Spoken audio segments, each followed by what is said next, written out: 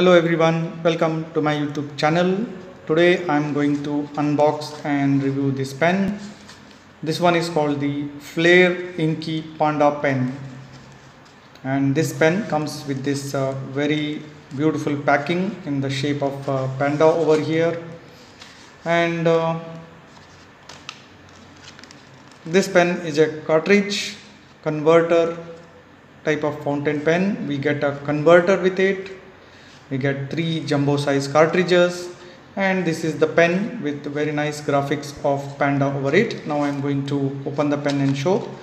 Um, now let us see what is the price of the pen. This one comes with mrp of 60 rupees. And this is a old pen. Uh, this pen was manufactured in 2019 now this pen comes with a round nib it is mentioned here smooth round nib. Now let's unbox and see how this pen writes. For unboxing we need to slide off this and then we need to remove the pen. Yeah. so let's see how the pen is.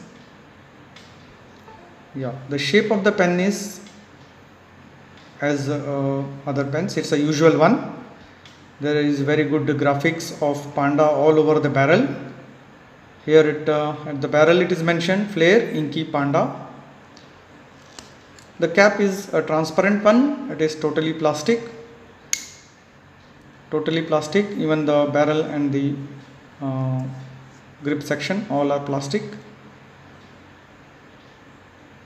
Yeah. I'm not uh, going to uh, insert the cartridge for because I'm just uh, going to test this pen. The cartridge can be inserted over here and uh, once you insert the cartridge you can use the pen directly. Now I'm going to dip and see how this writes because uh, I already had a similar pen like this. I just purchased it because that pen is already spoiled so. Now I am going to use the Laurel Rose ink by Brill and test this pen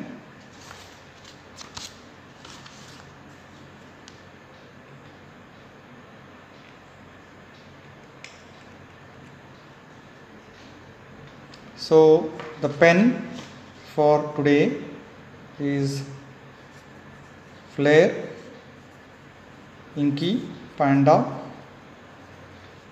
fountain pen and the ink which I am using is Brill Laurel Rose color now let us see some strokes of the pen. Yes, the pen is really smooth. The nib is writing very smoothly. The nib is just gliding over the pen.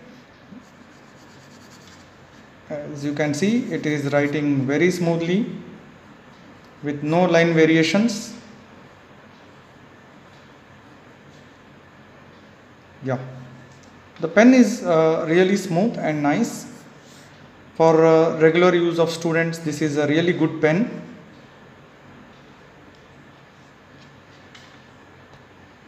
Now I'll write the sentence with it.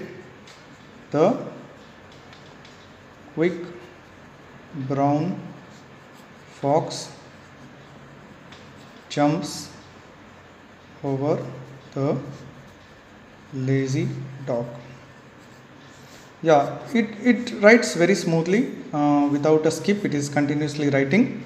And it's a good pen uh, totally plastic pen. The only thing which I feel is the the barrel sometimes uh, cracks from here uh, and my previous pen uh, had the same issue. The barrel got cracked from here after the uh, long usage. And also this graphics will be um, faded off this all will go off. It will become a plain barrel barrel after a uh, long use. Um, the the graphics don't stay on the pen. So it becomes a totally plain white pen. Since it is a white it comes in different colors. Uh, but the colors uh, are good but the the graphics which are there printed over here fade away with the after the regular use. So this was about the pen I hope uh, it was uh, the information was useful for you and uh, thank you for watching. Do subscribe to my channel. Do like and share the video.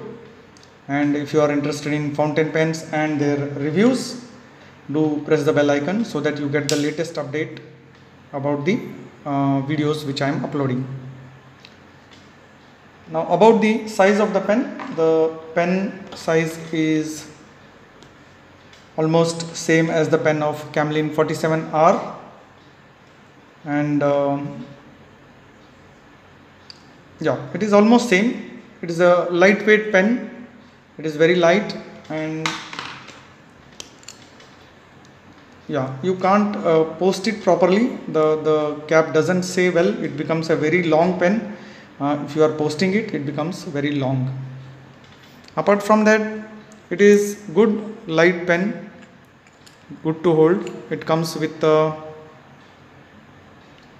plastic feed and a rounded small nib. Hope you can see the nib of the pen.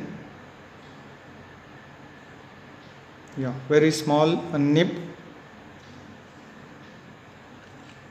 and good to use for regular use it is a okay pen. It's a good pen. Thanks for watching